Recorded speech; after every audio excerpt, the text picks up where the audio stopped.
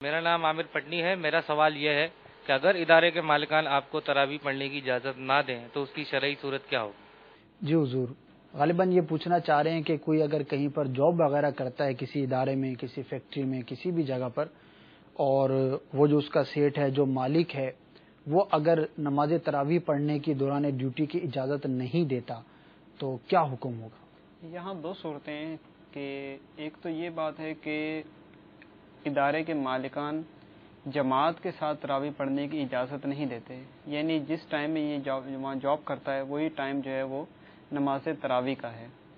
اور دوسری صورت یہ ہے کہ اس کی جو ڈیوٹی ٹائم ہے، یہ ڈیوٹی ٹائم عشاء کے وقت سے لے کر یعنی فجر کے وقت تک ہے۔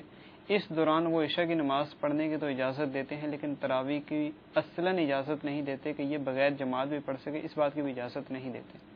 تو اگر تو پہلی صورت ہے کہ وہ جماعت کے ساتھ پڑھنے کا منع کرتے ہیں اور بعد میں یہ ہے کہ فجر سے پہلے پہلے اس کو گھر جانے کی اجازت دے دیں گے یا وہیں پر یا گھر جا کر کہیں بھی یہ تراوی کی نماز پڑھ سکے گا، اگرچہ جماعت کے ساتھ نہیں کر پڑھ سکے گا۔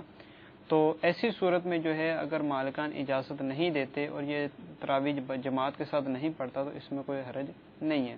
البتہ یہ ہے کہ مالکان کو چاہیے یہی کہ وہ ان کو اجازت دیں، اللہ تعالیٰ روزی دینے والا ہے، اللہ تعالیٰ برکت دینے والا ہے، وہ ان کو اجازت دے دیں کہ یہ جماعت کے ساتھ نماز تراوی پڑھیں۔ ان شاء اللہ سب اللہ تعالیٰ کی طرف سے مدد ہوئی تو اس کی برکت سے ان کے رزق میں فراوانی ہو جائے گی۔ اور دوسری صورت یہ کہ وہ اصلاً ہی نماز تراوی پڑھنے کی اجازت نہیں دیتے کہ فجر تک اس کی وہیں ڈیوٹی ہے۔